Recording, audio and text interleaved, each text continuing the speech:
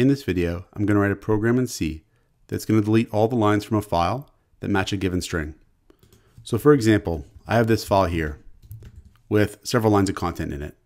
If I give my program the string ABC space 123, then these three lines that match that string should be deleted from the file. So let's build this together.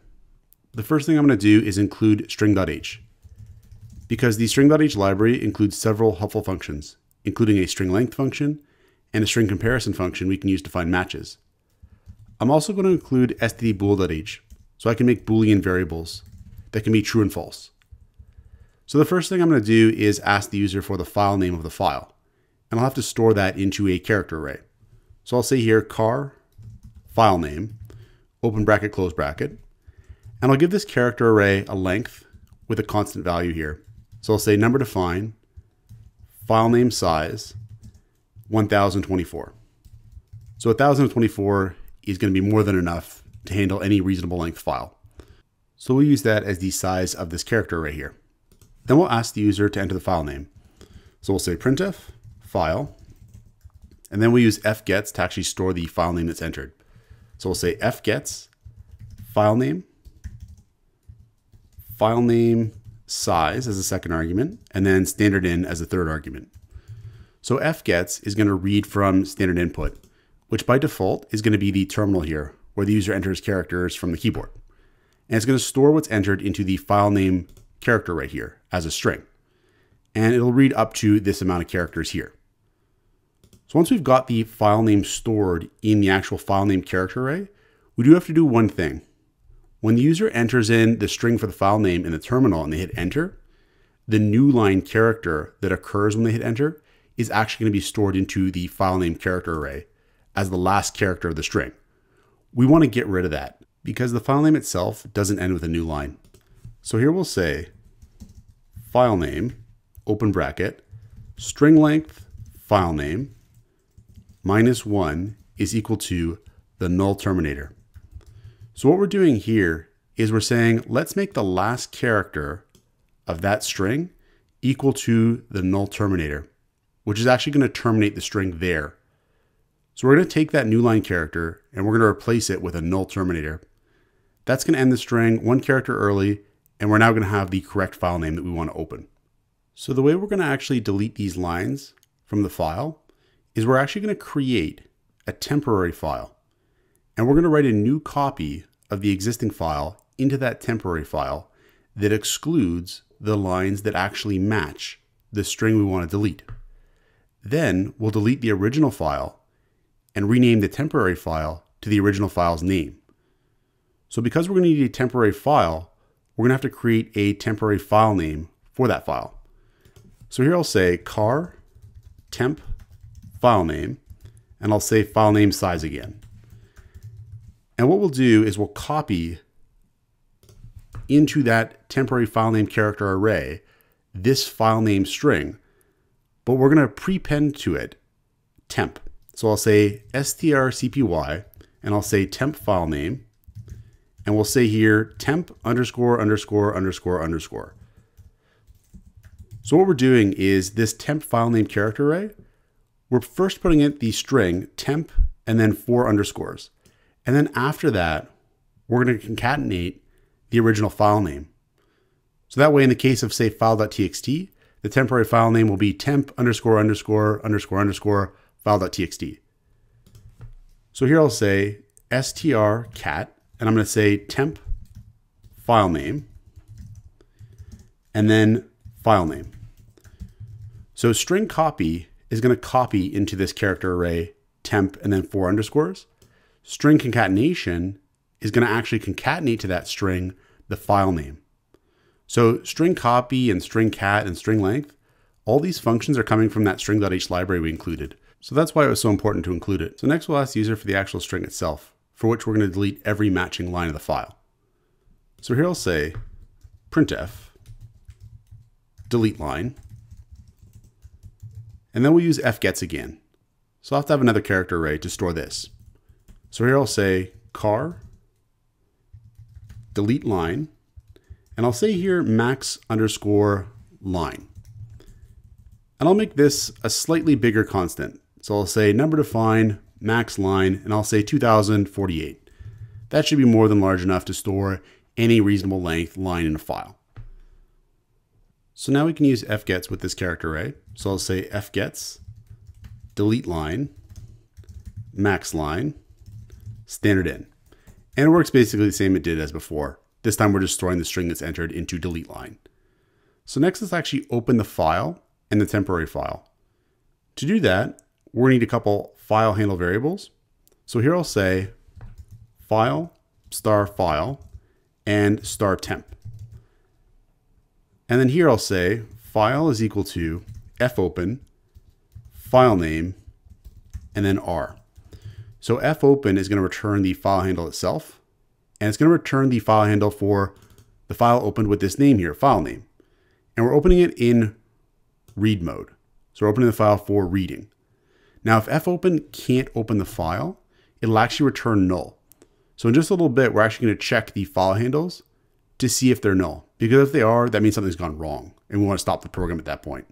We'll also open up the temporary file, and that one will be for writing. So here we'll say temp is equal to fopen, temp file name, and then w. So open up the file with the name of the temp file name for writing. That's what the w means. So next we'll check to see if the files were opened successfully. So if file is equal to null or temp is equal to null, that means there was a problem opening at least one of the files. And so we'll actually exit with an error here. We'll say printf error opening files, and then we'll return one. This will inform the user that something went wrong. Return one is actually a signal to the shell here, to the terminal, that something went wrong in the execution of our program. It will actually stop the execution of our program at this point. So at this point here, we know that the files have been opened successfully. And now what we need to do is read the file one line at a time. Check it for matches. When we find a match, we're not going to write that line to the temp file. Otherwise, we're going to write that line to the temp file. So by the end of that process, the temp file is going to contain everything from the original file except for the matches. So let's do that first. Here we'll say bool keep reading is equal to true. This is going to be a boolean variable that lets us know whether we should keep reading the file or not. Then here I'll say do while keep reading is true. So we're going to keep running this loop so long as keep reading is set to true. And we can set it to false when we actually want to stop reading content from the file. So to actually read in each line of the file, I'm going to need some kind of character array to do that. So up here, I'll make another character array. Here I'll say car buffer max line. And buffer is going to actually read in each line of the file. It's going to store the actual content of that line. So down here, we'll then say fgets buffer max line and file. So we're using fgets again. It's going to work in a similar way. And here what we're saying is not read from standard in, we're saying read from the file. And we're going to store that line of the file into buffer up to max line.